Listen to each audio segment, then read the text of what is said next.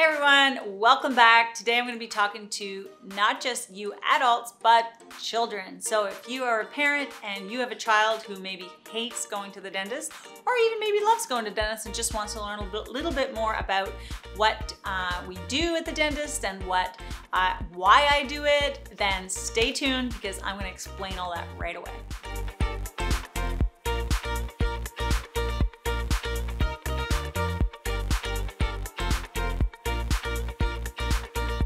So I'm gonna start with a did you know. So did you know that when you are a little teeny tiny baby in your mama's belly, your first molars, your six year molars, the molars that don't come into your mouth until you are six years old, they actually started forming.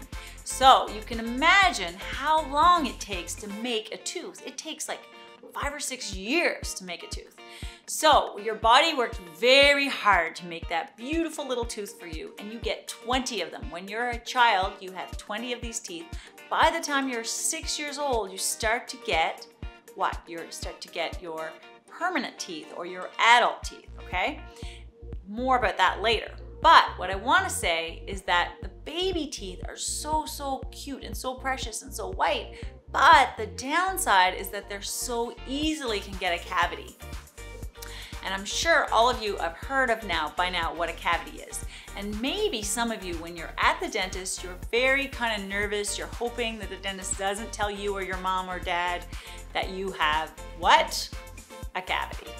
So a cavity is nothing more than just a little hole that forms in your tooth. Have you ever seen holes that form in your jeans? You ever seen anybody with like holes in their jeans or holes in their um, like potholes in, in, on the road that you drive over the road and you see the little holes. And what happens when your car drives over that hole, right? It's kind of hard on it. It breaks it down and it's not good. So it's nice when we have teeth that are nice and smooth and they don't have any holes. If the holes get too big, then we can have some pain, right? So that can hurt. And so it takes a little while for that to happen, but the best thing you can do, and I'm gonna go over these things today, is how you can stop that from happening. And if you do have to get a hole fixed by your dentist or someone like me, Dr. Peggy, then what we will do to help make it better. And it's really easy and I wanna share that with you because I don't want anybody to be afraid of having anything done at the dentist. Now when we go to the dentist, it's super easy, super fun. So I know this makes you crazy. I'm sure you hate it when your parents say, did you brush your teeth? Have you brushed your teeth yet? Go back in the bathroom, brush your teeth some more. I know it gets really, really old really fast. But the reason why we brush our teeth, I want you to imagine for a minute. Your tooth is a very beautiful, nice, shiny surface, okay? But when every day, so when you sleep, especially when you sleep, this happens, so it's very sneaky, these germs. But when you're sleeping, this sticky layer starts to creep up over your teeth, okay? And there's these germs. Everybody has germs. We wash our hands to get rid of germs, but germs just keep coming back. So our mouth has germs too, and those germs will get stuck in that sticky layer that starts to form on your teeth. And that's like a film or like a layer, like a blanket over your teeth. And it's not that you're, you know, brushing away even the, just the germs. You have to brush away that sticky layer so that the germs don't get stuck in there. And if you've ever used slime, I'm sure a lot of you like slime and you're making slime and you're making it like almost like too runny kind of thing and it gets really stuck to your hands. Or maybe you're making cookies and you have the dough and the chocolate chips and all that sort of gets stuck there, right? And your hands feel really yucky. Well, that's how your teeth feel when you don't brush them, okay? So you don't feel it with your tongue because you're this big person and you have a lot of other parts to worry about, but your teeth feel really yucky and they're just like, please brush us, please brush us. Um, and they just want you to clean them because they want to feel nice and shiny. And that's how they're supposed to be, nice and shiny. And that little layer that creeps up over your teeth when you sleep gets the germ stuck in it. So when is the best time to brush? The best times to brush are right before you go to sleep and right when you get up in the morning because those are the two times that probably a lot more is happening.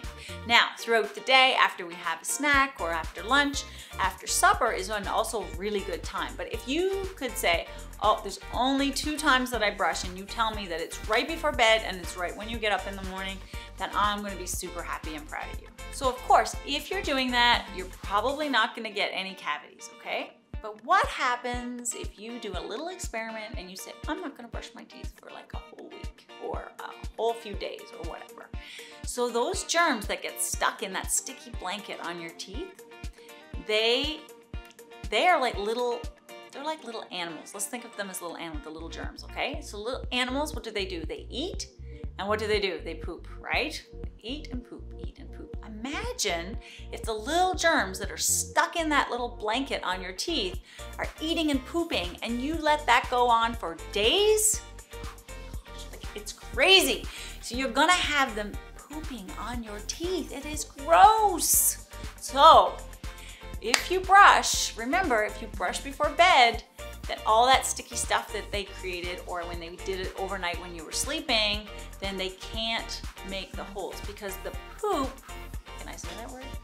Um, the poop that actually makes the holes. So that gets me back to the holes. Remember, we're driving down the road and we get a big hole and the car just falls right into it. That's a big problem, right? Holes. So we don't want holes anywhere and the poop is actually what causes the holes.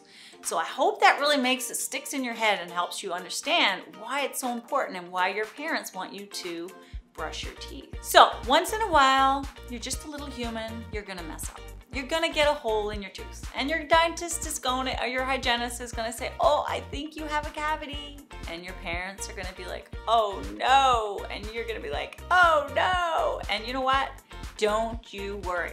Because because of the way dentistry is now, and dentists have a lot of super cool tools. I don't know if you've seen or you had to have a filling lately, but we do things a lot different than when your parents were little.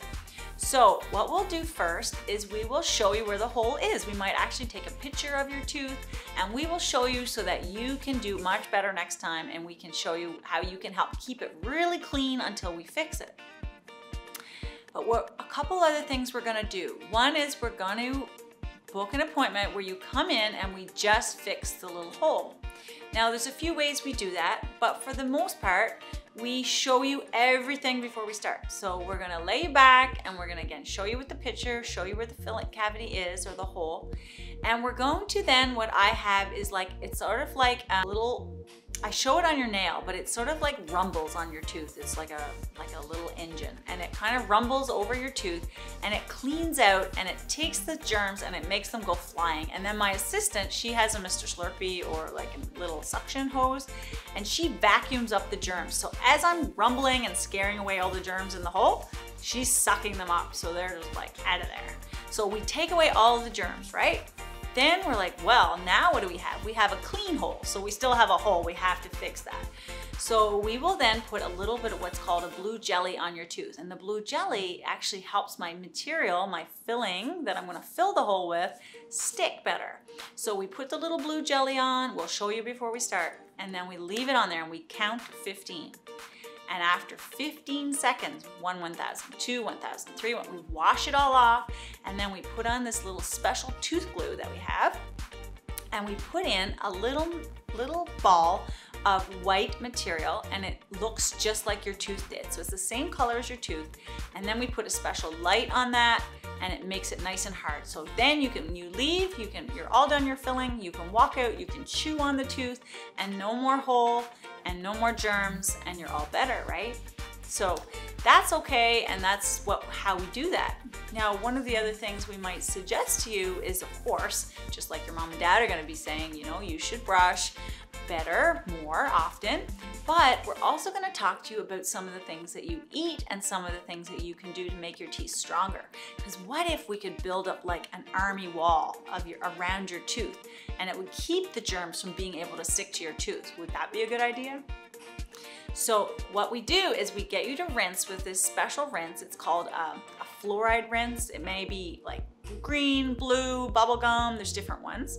And you're gonna swish with that like that for about 30 seconds. You're gonna do that right before bed. And again, when you're sleeping, now you've built up like almost like a little army, like a wall around your tooth. So the germs, not only can they not stick to your tooth, but they actually can't even get close to your tooth. So it's awesome. So if you want, ask your mom and dad to pick you up a special mouth rinse called a fluoride mouth rinse. Make sure you don't swallow it, but you do rinse with that every day and you will notice a big difference. You may never get a cavity, but if you do, don't worry because we know how to fix it and I hope that made you feel better about how we would actually do that. So kids and parents, I really hope that helped. If you would like to share this video, I would love it and appreciate to help as many kids as possible to help them feel better and not afraid of the dentist. Also, I didn't mention, and this could be in another video if you'd like to hear more about flossing, then I can definitely talk about that too. So don't forget to brush, floss, and I will see you next time.